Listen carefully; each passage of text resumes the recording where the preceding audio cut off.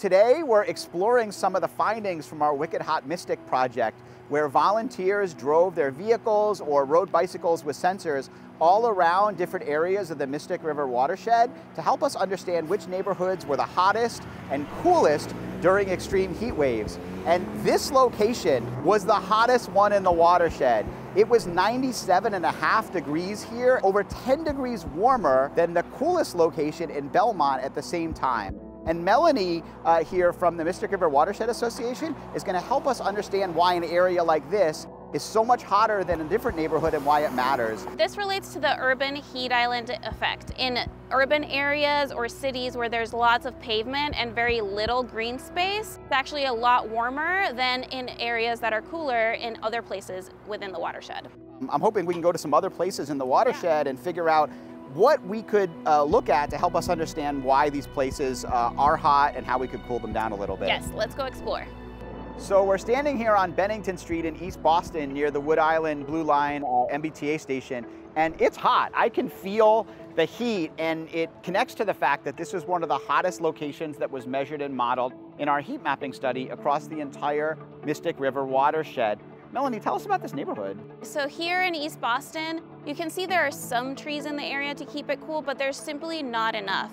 And so there's many areas where there's simply lots of asphalt and this can have detrimental impacts to the people living here because believe it or not, extreme heat actually impacts people's health and that's something that we don't often think about. So let's think a little bit about who lives and works here and what it might mean for them to be exposed to extreme heat uh, in this way. Tell us about this neighborhood.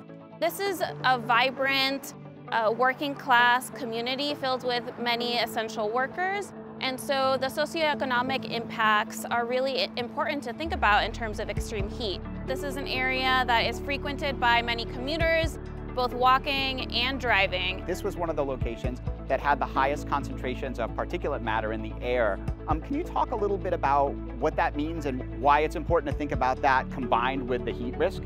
High particulate matter means poor air quality.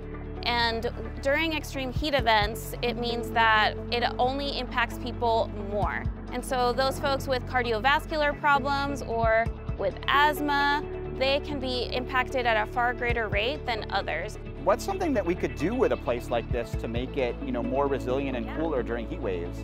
So public planners and your local advocates, so people who live here, can actually try to affect change by planting trees, and increasing in general public green spaces in this area. So that way all of the heat that is being absorbed can be released back into the atmosphere and then also help absorb and filter out all of that particulate matter. Less than a mile from here, we had a very different location that was modeled and measured a lot cooler. Uh, so maybe we can go over there and try to think about what that place can teach us about keeping a place like this cool. Definitely. Just five minutes away is Belle Isle Marsh, where it's so much cooler than this spot right here.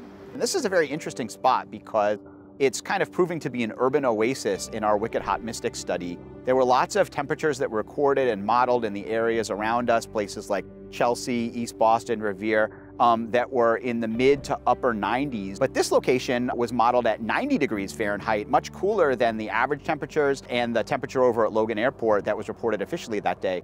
Lots of people think that the Massachusetts coastline used to be mostly forest, but it actually looked a lot like this. Lots of amazing salt marshes that provided a lot of wildlife protection and flooding protection, but it also keeps these areas cool because of all of these salt marshes, because of all of these grasses that are around.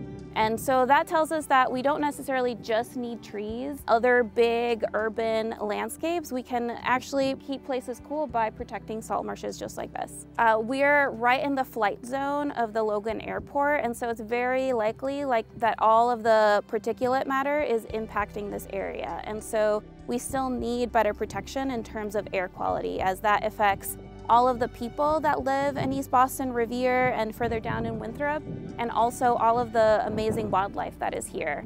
And this is also an important bird area, so lots of migrating species come here and are around us right now, and so we need to think about them as well. Important stuff to think about in such yeah. a beautiful place. Exactly. Thanks, Melanie. Yeah.